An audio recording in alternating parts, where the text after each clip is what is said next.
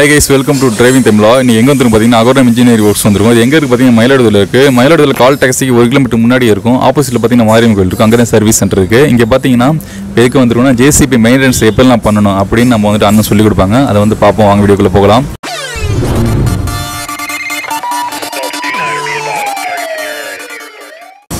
அனைவருக்கும் வணக்கம். நான் அகோரம் பேசுகிறேன் இப்போ ஆக்சுவலாக வந்து இது ஒரு பிரித்த வண்டி தான் இப்போ என் கையில் என்னோடய ஒர்க் ஷாப்பில் இருக்குது அதனால் இதுலேருந்து நான் மெயின்டெனன்ஸ் ஆரம்பித்து உங்கள்கிட்ட சொல்லிடுறேன்.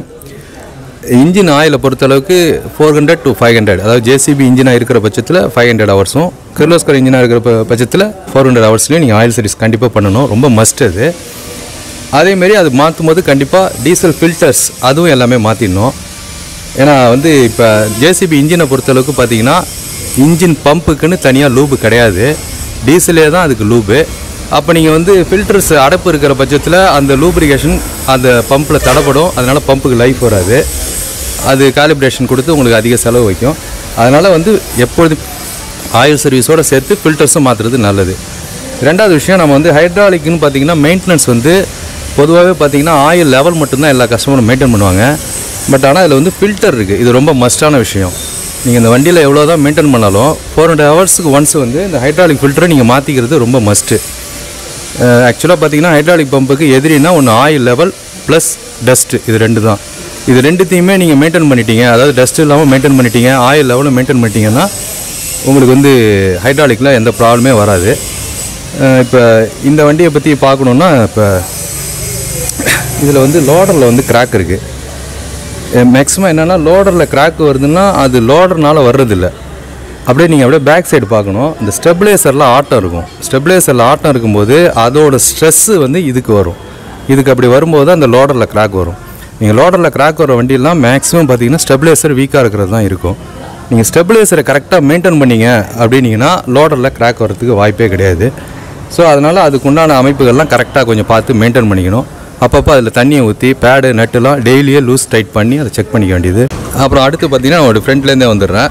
பேட்ரி பேட்டரியை பொறுத்தளவுக்கு அந்த இடம் நம்ம வந்து நம்ம செய்கிற ஒர்க்குக்கு நியர்பையாக இருக்கிறது பேட்டரி தான் இருக்குது பட் ஆனால் அதை வந்து அந்த இடத்த டெய்லியே நீங்கள் வந்து சுத்தமாக வச்சுக்கிறது நல்லது. அதில் எந்த ஒரு ஈரமோ இதோ இல்லாமல் வச்சுக்கிறது நல்லது. ரெண்டாவது ஒன் தேர்ட்டி ஆம்ஸ் உள்ள பேட்டரி தான் இதுக்கு நம்ம யூஸ் பண்ணுவோம். ஏன் ஒன் தேர்ட்டி ஆம்ஸ் அப்படின்னா நம்மளுடைய ஒர்க்கு நேச்சர் எப்படி இருக்குன்னு தெரியாது. ஒரு மணி நேரத்துக்கு சமயத்தில் நாலு செல்ஃப் அஞ்சு செல்ஃப் போடுற மாதிரி இருக்கலாம். இல்லைன்னா நைட்டு ஃபுல்லாக லைட் எரிஞ்சு வண்டி ஓட்டுற மாதிரி இருக்கலாம். அப்போ அது ஒன் தேர்ட்டி ஆம்ஸாக இருக்கிற பட்சத்தில் அதோட கரண்ட் ப்ரொடியூஸ் வந்து கரெக்டாக இருக்கும். இப்போ நைன்ட்டி ஹண்ட்ரட்லாம் போட்டு சில பேர் ஓட்டுறாங்க. அதுக்கு என்ன ப்ராப்ளம் வரும்னா பேட்டரியில் ப்ராப்ளம் வராது. பட் செல்ஃப் மோட்டரில் ப்ராப்ளம் வரும். செல்ஃப் மோட்டர்லேயும் டைனமோலையும் ப்ராப்ளம் வரும்.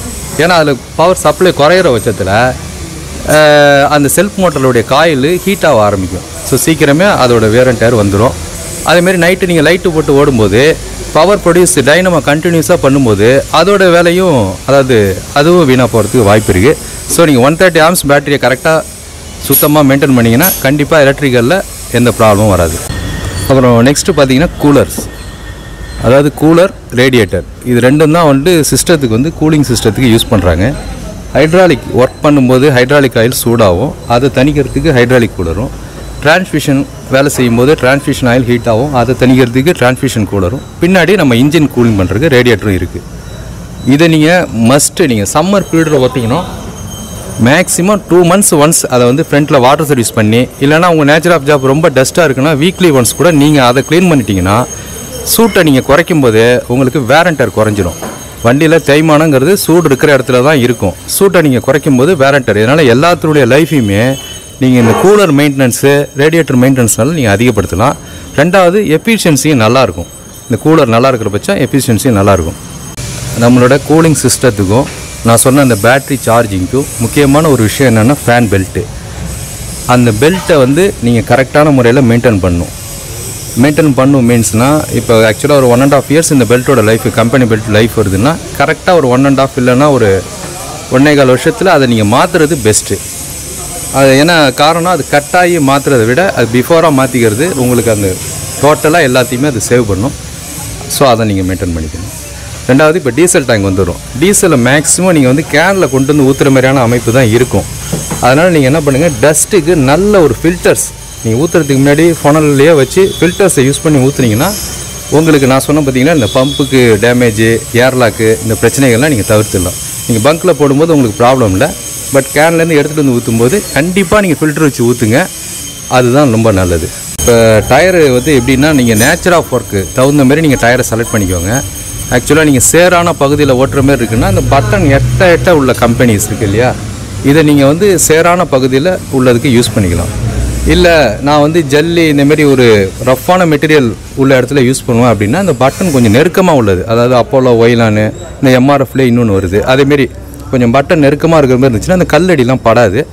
ஸோ உங்களுக்கு நல்லாயிருக்கும் பட் பட்டன் நெருக்கமாக உள்ளது நீங்கள் சேத்துல யூஸ் பண்ணிங்கன்னா ஸ்கிட் ஆகும். அதில் க்ரிப் இருக்காது. அதனால் நீங்கள் உங்கள் நேச்சர் ஆஃப் அதாவது உங்கள் ஏரியா எந்த ஏரியாவில் ஓட்ட போகிறீங்களோ அதுக்கு தகுந்த மாதிரி டயர் நீங்கள் செலக்ட் பண்ணிக்கணும் இப்போ நான் ஃபஸ்ட்டே சொன்னேன் இல்லைங்களா?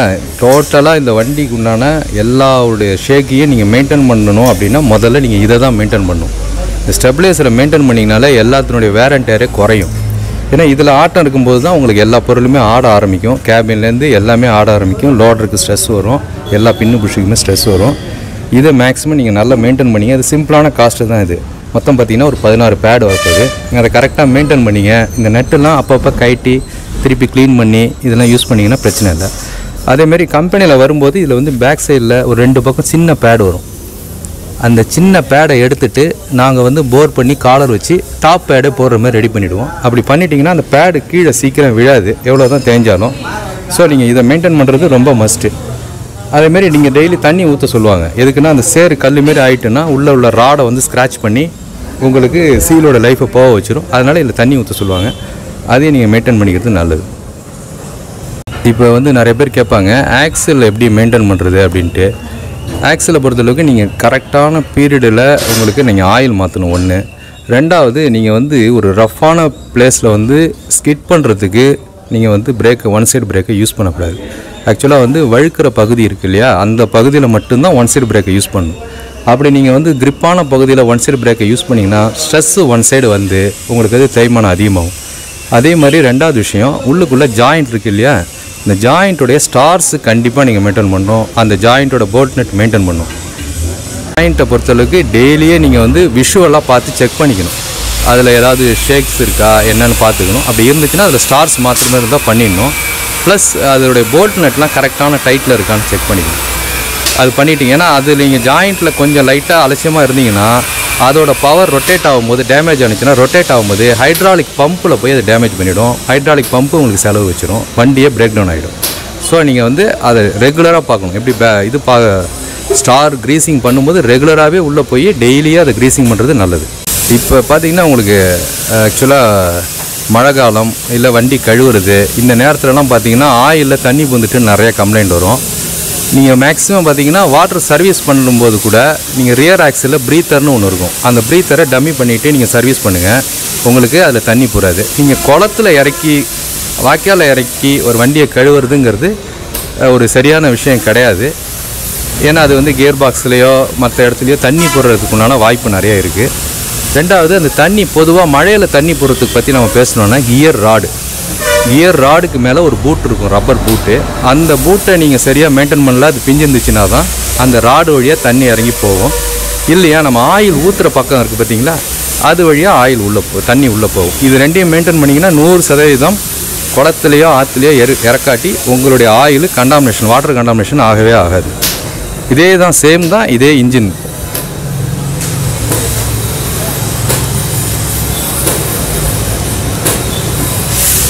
நீங்கள் பார்க்குறது ஃப்ரண்ட்டு கிளாஸுக்கும் பேனட்டுக்கும் நடுப்புற உள்ள கேப்பு ஆக்சுவலாக இதில் நிறைய பேர் என்ன பண்ணுறாங்கன்னா இந்த சைலன்ஸருடைய கேப் இருக்கு இல்லையா? ஏதாவது ஒரு டப்பா கப்பா போட்டு மூடியிருக்காங்க. அதை அந்த கேப்பில் வந்து சேஃப்டிக்காக ஒரு இடம் மாதிரி வச்சுக்கிறாங்க. அது என்ன ஆகும்னா நிறைய நேரத்தில் அந்த கிளாஸை கிராக் பண்ணிவிடும் ஏன்னா இது வந்து பேனட்டுங்கிறது தனி பாடி நம்ம கேபின்ங்கிறது தனி பாடி இது ரப்பர் பூட்டில் தான் ஜாயின் பண்ணியிருக்கோம். ஸோ அதில் வைப்ரேஷன் இருக்கும். அதில் அந்த இடம் உடஞ்சி நசுங்கி ரெண்டுத்துக்கு நடுப்புற நசுங்கி கண்ணாடி தான் உடையும். ஸோ அந்த இடத்துல நீங்கள் வந்து எந்த ஒரு இதையும் வைக்காதீங்க. இப்போ இந்த கேரேஜில் கிராக் அப்படின்னு சொல்லிட்டு நிறையா வண்டியில் வரும். ஆக்சுவலாக பார்த்தீங்கன்னா இந்த இடத்துல கிராக் இருக்கும். அப்புறம் மேலே இந்த இடத்துல இப்படி கிராக் டெவலப் ஆகும். ரெண்டாவது மூணாவது இந்த இடத்துல கிராக் ஆகும். இப்போ ஃபஸ்ட்டு பார்த்துப்போம். இந்த இடத்துல கிராக் வர்றதுக்கு காரணம் கிங் போஸ்ட்டை ஃபுல் ஸ்விங் பண்ணுறது ரெண்டாவது விஷயம் இந்த இடத்துல ஒரு ஸ்டாப்பர் பீஸு வெல்டு வைப்பாங்க. அது பண்ணக்கூடாது. இங்கே வெல்டு வச்சிங்கன்னா இந்த இடம் வீக் ஆகி உங்களுக்கு இப்படியே கிராக் டெவலப் ஆகிடும் ஸோ நீங்கள் இங்கே வெல்டு வைக்கிறத அவாய்ட் பண்ணீங்க. இது ஸ்டாப்பர் எனக்கு வேணுமே சார்னு கேட்டிங்கன்னா கிங் போஸ்ட்டில் இது வந்து இடிக்குது இல்லையா? கிங் போஸ்ட் இருக்கிற இடத்துல ஒரு பீஸ் வச்சு வெல்டு பண்ணிக்கோங்க. அதனால் எந்த பாதிப்பும் வராது. அதே மாதிரி இந்த இடத்துல கிராக் வருதுன்னு சொல்கிறாங்க இந்த இடத்துல ஏன் கிராக் வருதுன்னா இந்த ஹைட்ரோ கிளாம்பு கரெக்டாக ஆயில் போகிற மாரி கரெக்டாக மெயின்டைன் பண்ணலை. இப்போ திடீர்னு இதில் ஏதாவது லீக் வருதுன்னா டம்மி போட்டுருவாங்க.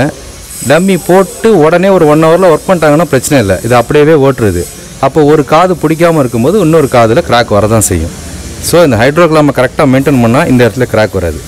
சரி இங்கே கிராக் வருது என்னன்னா இந்த மூணு மூணு ஆறு போல்ட்டு இது கரெக்டான முறையில் டைட் இருந்துச்சு அப்படின்னா இதில் கிராக் வராது. ஸோ அந்த கேரேஜை நீங்கள் சேஃபாக வச்சுக்கலாம். இங்கே வெல்டு பண்ணாமலோ ரெண்டாவது இந்த ஹைட்ரோகிளாமை மெயின்டைன் பண்ணியோ இந்த முப்பது போட்டை நல்லா கரெக்டான முறையில் டைட் பண்ணியோ இதில் நீங்கள் கம்ப்ளீட்டாக அது நீங்கள் சூப்பராக அடுத்து நம்ம பூம் மெயின்டெனன்ஸ் பார்க்க போகிறோம் இந்த பூமோடைய பாட்டம் புஷ்ஷஸை நீங்கள் கரெக்டாக மெயின்டைன் பண்ணிங்கன்னா உங்களுக்கு இந்த பூமோடைய பாட்டம் இங்கே காட்டுங்க. இந்த இடத்துல எந்த கிராக்கும் வராது. ரெண்டாவது விஷயம் நீங்கள் வந்து பூம் பின்னு புஷ் ஆட்டம் இருக்கும்போது இதுன்னு கிடையாது எந்த பின்னு புஷ்ஷில் ஆட்டம் இருந்தாலுமே பின்னு புஷ் மாற்றுற கண்டிஷனில் நல்ல டைட்டாக ஷிம் கொடுக்காதீங்க. அதில் ஒரு கிளியரன்ஸ் வச்சு கொடுத்தீங்கன்னா தான் உங்களுக்கு அந்த அந்த பாடியை அது டேமேஜ் பண்ணாது. பின்னு புஷ்ஷே மாற்றாமல் நான் ஷிம்மாலேயே நான் ஆட்டத்தை நிப்பாட்டுவேன்னீங்கன்னா அது பாடி தான் டேமேஜ் ஆகாமல் போயிடுச்சு. உங்களுக்கு ஆட்டம்லாம் குறையாது. ஸோ அதேமாரி இதில் வந்து எப்பொழுதுமே ஷிம்மு கொடுக்கும்போது ஒரு நூல் கிளியரன்ஸ் வச்சு ஷிம்மு கொடுங்க. பின்னு புஷ் ஆட்டம் இருக்கும்போது கொடுத்தீங்கன்னா அந்த கீழே கிராக் வரும். இது வந்து பூம் ஆர்ச்சி. மேக்ஸிமம் வண்டியில் இந்த பூம் ஆர்ச்சு வந்து கிராக் ஆகிருக்கும் இந்த பூம் ஆர்ச்சியை கிராக் பண்ணுறது என்னென்னா இந்த டிப்பர் ரேமுடைய லெஃப்ட் ரைட்டு ஆட்டம். இதை எது ஆட்டுதுன்னு பார்த்தீங்கன்னா அந்த டிப்பர் உங்களுடைய காலர் அந்த டிப்பர் இந்த இந்த பூம் ஜாயின் பண்ணுற டிப்பர் காலர் இல்லையா? அதை நீங்கள் மெயின்டைன் பண்ணலைன்னா இது வரும். அதே மாதிரி நான் ஏற்கனவே சொன்னேன் இல்லையா அதிகப்படியான ஷிம் இங்கே கொடுத்தீங்கனாலும் பூம் பாட்டத்தில் கொடுத்தீங்கனாலும் இந்த ஆர்ச்சியில் கிராக் வரும். ஜாக் வச்சு விரித்து அதிகப்படியான கொடுப்பாங்க. அதாவது பின்னு புஷ் மாற்றும் போது நீங்கள் கொடுக்கறது வேறு மாற்றாத போது கொடுக்கறது வேறு. மாற்றாத போது நீங்கள் கொடுத்தீங்கன்னா பொருளை தான் அது வீணாக்கும். இதேமாரி வந்து இன்னொரு வண்டிக்கு தான் இந்த காலர் மாற்றிருக்கோம் இந்த காலர் மாற்றிட்டு ஏன்னா அவங்க அதோடைய சப்போர்ட்டுக்கு உள் பக்கமாக நாங்கள் பீஸ் கொடுத்துருக்கோம். இது வந்து வெளியில் பார்க்கும்போது தெரியாது. இது ஏன் சப்போர்ட் கொடுக்குறோன்னா நாங்கள் கட் பண்ணி எடுத்துகிட்டு வைக்கும்போது வெறும் மெட்டல் மட்டும் அதாவது வெல்டிங் மெட்டல் மட்டும்தான் காண்டாக்ட் இருக்கும். பட் அது அது அது அதோட ஸ்ட்ரென்த்து குறையக்கூடாதுங்கிறனால உள்ளே இந்த பீஸ் கொடுத்துருக்கோம். ஃப்ரண்ட் ஆக்ஸில் பொறுத்தளவுக்கு நாம் வேலை செய்கிற மெட்டீரியல் படுற இடம் கிட்டத்தட்ட கிங் பின்னு அந்த இடத்துலலாம் படுற இடம். இதை வந்து நீங்கள் டெய்லியாக க்ரீசிங் பண்ணணும். இப்போ நான் என்ன பண்ணியிருக்கேன்னா அந்த டஸ்ட்டு உள்ளே போகாமல் இருக்க ஒரு கப்ளிங் வச்சு பற்ற வச்சுருக்கேன். ஸோ இப்போ டஸ்ட்டு உள்ளே போகாது. ரெண்டாவது அதில் நீங்கள் க்ரீஸ் வச்சுட்டிங்கன்னா அது தேவையானது அப்பப்போ மெல்ட் ஆகி கீழே இறங்கிக்கும். நிப்பிள்லையும் நீங்கள் அடிச்சிக்கலாம். பட் இந்த டம்மிலையும் நீங்கள் வந்து மெயின்டைன் பண்ணிக்கலாம். அது உங்களுக்கு இன்னும் யூஸ்ஃபுல்லாக இருக்கும். இப்போ இந்த வண்டியில் ஃபுல்லாகவே நாங்கள் வேலை பார்த்துருக்கோம். அதேமாதிரி சென்டர் பின் காலர் இந்த க்ரீஸிங் சென்டர் பின் காலருக்கு இந்த க்ரீஸிங் இதுவும் ரொம்ப மஸ்ட்டு கிங் பின்னில் இந்த டஸ்ட்டு இல்லாமல் நீங்கள் மெயின்டைன் பண்ணாலே கிங் பின் லைஃப் வரும். இப்போ பொதுவாக பார்த்தீங்கன்னா இந்த மழை காலம் இதுலலாம் பார்த்தீங்கன்னா இந்த மேட் இருக்குல்ல இதை நீங்கள் வந்து ரிமூவ் பண்ணுறது நல்லது. மழை காலம் ஆரம்பிக்குது அப்படின்னு தெரிஞ்சிச்சுன்னா இந்த மேட்டை நீங்கள் எடுத்துக்கிட்டு நீங்கள் வண்டியை வச்சுக்கலாம். பொதுவாக ஒர்க்கும் கம்மியாக இருக்கும். ஸோ உங்களுக்கு ஹீட்டு கீழே வராது ரொம்ப. ஸோ இந்த மேட்டை எடுத்துருங்க இந்த மேட்டு தான் உங்களுக்கு இந்த ரெஸ்ட்டுக்கு காரணம். இப்போ இந்த வண்டியே பாருங்களேன் இந்த மேட் இருக்கிறனால தான் ரெஸ்ட்டாக இருக்குது மேட் இல்லாத இடம்லாம் பாருங்கள் ஓரளவுக்கு துரு இல்லாமல் இருக்கும். ஸோ அந்த மழை காலம் இல்லை நனைஞ்ச உடனே வண்டி ஏதாவது ஒரு காரணத்துக்கு வேண்டி அதை எடுத்துருங்க. மழை காலம் சீசன் ஃபுல்லாகவே நீங்கள் எடுத்துறது நல்லது தான் இது வந்து ரியர் கண்ட்ரோல் வால் பிளாக்கு இந்த வால் பிளாக்கில் உள்ள ஸ்பூல்ஸ் இருக்குது இதெல்லாம் ஃபுல்லாக கண்ட்ரோல் லிவர்ஸு இப்போ இந்த வண்டியில் பார்த்தீங்கன்னா ஃபுல்லாக டஸ்ட்டாகவே இருக்குது இப்போ இது என்ன ஆகும்னா சில பேர் லிவர் டைட்டாக இருக்குது லிவர் டைட்டாக இருக்குன்னுவாங்க. பார்த்தீங்கன்னா இந்த ஸ்டார் வந்து உங்களுக்கு க்ரீசிங் அதாவது க்ரீசிங் இல்லை அதோட டஸ்ட்டு படிஞ்சு ரொம்ப டைட்டாக இருக்கிறதுக்கு வாய்ப்பு இருக்குது கை வலிக்குது சார் கை வலிக்குதுன்னுவாங்க. ஸோ இதெல்லாம் கொஞ்சம் டஸ்ட் இல்லாமல் மெயின்டைன் பண்ணும். மந்த்லி ஒன்ஸ் எடுத்து லைட்டாக மண்ணெண்ணெயை மண்ணெண்ணெயோ டீசலோ லைட்டாக அப்ளை பண்ணிவிட்டு அந்த கவரை போட்டுட்டிங்கன்னா மெயின்டைன் ஆகிடும் அதேமாரி கீழே பார்த்தீங்கன்னா ஸ்பூல் ஸ்பூலில் வந்து ரப்பர் பூட் இருக்கும். அந்த ரப்பர் பூட்டு வந்து எதுக்குன்னா டஸ்ட்டு உள்ளே போகாமல் இருக்க தான் அது நிறையா வண்டியில் பார்த்தீங்கன்னா இப்போ பாருங்கள் அதில் அவ்வளோ டஸ்ட் இருக்குது பட் ஆனால் உள்ளே போகாமல் அதுதான் தடுத்துருக்கு. ஸோ அந்த பூட்டு போடாமல் எந்த வால் பிளாக்கும் நம்ம வேலை செய்யக்கூடாது. அந்த இடத்தையும் நம்ம சுத்தமாக வச்சுக்கணும். அதில் ஒரு மண் இருக்குன்னா அந்த மண் வந்து அந்த ஸ்பூலில் கீறல் போடும். கீறல் போட்டுடுச்சுன்னா அந்த ஸ்பூலே டேமேஜ் ஆகி மாத்திர மாதிரி தான் இருக்கும். ஆயில் நிறையா லீக் ஆகும் வேஸ்ட்டாகும் ஸோ இந்த இடத்த நீங்கள் கண்டிப்பாக சுத்தமாக மந்த்லி ஒன்ஸ் அது க்ளீன் பண்ணிவிடுங்க மேலே இந்த கண்ட்ரோல் இருக்கிற இடம் இல்லாமல் டீசல் போட்டு இதை க்ளீன் பண்ணி வச்சுக்கோங்க. உங்களுக்கு ஆப்ரேட்டிங் பண்ணவும் உங்களுக்கு நல்லா சாஃப்டாக இருக்கும் இப்போ இன்ஜின் ஆயில் சர்வீஸை பற்றி ஃபஸ்ட்டே சொல்லிட்டேன். அதேமாதிரி டிரான்ஸ்மிஷன் ஆயில் கியர் பாக்ஸுக்கும் ஆயில் வந்து ஆக்சுவலாக நம்ம என்ன நினைப்போம்? பேக் பேக்கெட் தான் ஓட்டுறோம். ஸோ அதனால் வந்து டிரான்ஸ்மிஷன் ஆயிலுக்கு லைஃப் அதிகம் அப்படின்னு நம்ம நினைப்போம். அது வந்து தவறான விஷயம். நீங்கள் வண்டியை ஸ்டார்ட் பண்ணாலே டிரான்ஸ்மிஷன் ஆயில் ஃபுல்லாகவே சர்க்குலேட் ஆகிட்டே தான் இருக்கும். ஹைட்ராலிக் எப்படி சர்க்குலேட் ஆகுதோ அதே மாதிரி டிரான்ஸ்மிஷனும் சர்க்குலேட் ஆகிட்டே தான் இருக்கும். மேக்ஸிமம் இதை வந்து தௌசண்ட் ஹவர்ஸில் மாற்றுங்க அதாவது கம்பெனி நாம்ஸ் படி இது எயிட் ஹண்ட்ரட் ஹவர்ஸில் ஆயில் மாற்றணும் எவ்ரி ஃபோர் ஹண்ட்ரட் ஹவர்ஸ் நான் சொன்ன பாருங்கள் ஹைட்ராலிக் ஃபில்ட்ரு அதேமாரி டிரான்ஸ்மிஷன் ஆயில் ஃபில்ட்ரு நீங்கள் மாற்றிட்டீங்கன்னா ரொம்ப நீட்டாக இருக்கும். இந்த ஆயில் வந்து ஆட்டோமேட்டிக் டிரான்ஸ்மிஷன் ஆயில் ஆக்சுவலாக வந்து கம்பெனியில் இந்த ஆயில் கிடைக்கிது. அப்படி இல்லை நீங்கள் வெளியில் வாங்கணும் அப்படின்னீங்கன்னா கேஸ்ட்ரால் இதில் வர ஆட்டோமேட்டிக் டிரான்ஸ்மிஷன் ஃப்ளூயிடுன்னு விற்கும் அதை நீங்கள் வாங்கி யூஸ் பண்ணுங்கள் அதேமாதிரி rear axle the same purpose தான் இது. இதேமாரி எயிட் ஹண்ட்ரட் டு தௌசண்ட் ஹவர்ஸ்க்குள்ளே இந்த ஆக்சல் ஆயிலையும் மாற்றிடுங்க இது வந்து என்ன ஆயில்னால் யூடிடிஓ ஆயில்னு சொல்லுவாங்க. யூனிவர்சல் டிரான்ஸ்மிஷன் டிராக்டர் ஆயில்னு சொல்லுவாங்க. இப்போ வர்ற டிராக்டர் எல்லாமே வந்து ஆயில் இம்மர்ஸ்டு பிரேக் உள்ளது தான் வந்துருச்சு. ஸோ அந்த ஆயிலையும் நீங்கள் இது கூட யூஸ் பண்ணலாம். இதுவும் அதேமாரி எயிட் ஹண்ட்ரட் டூ தௌசண்ட் ஹவர்ஸை நீங்கள் மெயின்டைன் பண்ணி என்னோடய சஜஷன் என்னென்னா நீங்கள் ஆயில்ஸை பொறுத்தளவுக்கும் ஒரிஜினலாக யூஸ் பண்ணுங்கள் அதேமாதிரி ஃபில்டர்ஸ் ஃபில்டர்ஸு ஹண்ட்ரட் பர்சன்ட் நீங்கள் வந்து ஒரிஜினல் யூஸ் பண்ணுங்கள் அதுதான் ரொம்ப பெஸ்ட்டானது ஏன்னா இப்போ வந்து நீங்கள் ஒரு ஃபோர் ஹண்ட்ரட் ஹவர்ஸில் இந்த ஃபில்டர் மாற்றணும்னு நான் சொல்கிறேன் நீங்கள் அது மாற்றலை அப்படின்னா உங்களுக்கு வந்து ஒரிஜினலாக இருக்கும்போது அது பைபாஸ் ஆகிடும் இதே நீங்கள் லோக்கல் ஃபில்டரை போட்டிங்கன்னா பஸ்ட் ஆகிடும் நீங்கள் என்ன பர்பஸுக்கு போடுறீங்களோ அதோடைய தன்மையை இழந்து அதுவே எதிரியாக மாறிடும் ஆயிலுக்கு.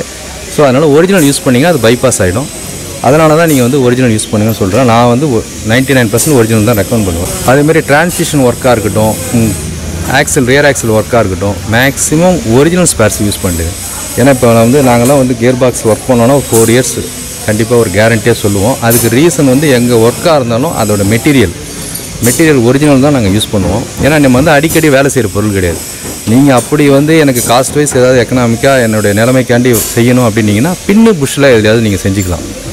அதை தாண்டி நீங்கள் வந்து இன்டர்னல் ஸ்பேர்ஸ்லேயோ இல்லை ஃபில்டர்ஸ்லேயோ நீங்கள் வந்து எந்த ஒரு சாக்ரிஃபைஸும் பண்ணிக்காதீங்க. அது உங்கள் வண்டிக்கு நல்லது உங்களுக்கு செலவு அதுதான் கம்மி. அந்த நேரம் கூட இருந்தாலும் அதுதான் உங்களுக்கு செலவு கம்மி. டிரைவிங் தமிழா யூடியூப் சேனல்லேருந்து வந்து எங்களை வந்து எங்களுடைய கருத்துக்களெல்லாம் மதித்து எடுத்ததுக்கு ஒளிப்பதிவாளருக்கும் அதனுடைய தொகுப்பாளருக்கும் நான் நன்றியை தெரிவிச்சுக்கிறேன். நான் வந்து நைன்டி எயிட்லேருந்து சர்வீஸ் இந்த ஜேசிபி சர்வீஸ் ஃபீல்டில் இருக்கேன். நாங்கள் ஜேசிபின்னு கிடையாது. ஜேசிபி அதாவது எஸ்கவேட் பேக்ஹோ எஸ்கவேட்டர் எல்லாமே நாங்கள் பார்ப்போம். பட் இங்கே பாப்புலேஷன் வந்து ஜேசிபியும் கேட்டர்பில்லரும் இருக்கிறனால இது சம்மந்தமாக பார்த்துட்ருக்கோம் நான் ஒரு டுவெண்ட்டி டூ இயர்ஸ் எக்ஸ்பீரியன்ஸோடு இருக்கேன் சர்வீஸ் பேஸில் இப்போ அடுத்து வந்து என்கிட்ட வந்து வெல்டிங் ஃபீல்டில் இருக்கிறவர் சொல்லுவார். வணக்கம். என் பேர் ஜெயராஜ். டிரைவிங் தமிழாவுக்கு வாழ்த்துக்கள். இப்போ இது வரைக்கும் பார்த்தீங்கன்னா நிறையா யூடியூப்பில் அப்லோட் பண்ணிகிட்டு இருக்காங்க. இது வரைக்கும் சக்ஸஸ்ஃபுல்லாக போயிட்டுருக்கு இப்போ நாங்கள் பார்த்தீங்கன்னா அங்கே வந்து வெல்டிங் நான் வந்து வெல்டிங் ஃபீல்டு சம்மந்தமாக பார்த்துட்ருக்கேன் இது வரைக்கும் நான் வந்து ஒரு பதிமூணு வருஷமாக அந்த ஃபீல்டில் இருக்கேன். இங்கேருந்து நல்லா நல்லபடியாக பார்த்துட்ருக்கோம் சாரோட ஒரு வருஷமாக ஒர்க் பண்ணிட்டுருக்கேன் I'm happy thank you driving தமிழாவுக்கு வணக்கம். என் பேர் சர்மா. நான் ரெண்டு வருஷமாக இங்கே ஒர்க் பண்ணியிருக்கேன் சார். சார் வணக்கம். நான் இந்த ஃபீல்டில் வந்து பதிமூணு வருஷமாக இருக்கேன். நான் எங்கள் சாரோட ஒர்க் பண்ணிகிட்டு இருக்கேன். எனக்கு என் பேர் குமார். நான் வந்து கீர் பஸ்ஸு கிரவுண்டு ஹைட்ராலிக் சம்மந்தப்பட்டது எல்லாத்தையும் பார்ப்பேன் வேலை. ஓகே கேஸ் இந்த வீடியோ பார்த்துருப்பீங்க. ஸோ நம்மளுக்காக மெனக்கெட்டு நிறைய விஷயங்கள் வந்துட்டு பகிர்ந்துட்டாங்க நம்ம அகரம் பண்ண அவங்களுக்கு ரொம்ப நன்றி. நன்றிண்ணா. ஓகே இந்த வீடியோஸ் பற்றின கருத்து கீழே கமெண்ட் செக்ஷனில் கமெண்ட் பண்ணுங்கள் நெக்ஸ்ட் அப்டேட்டில் சந்திப்போம். நன்றி.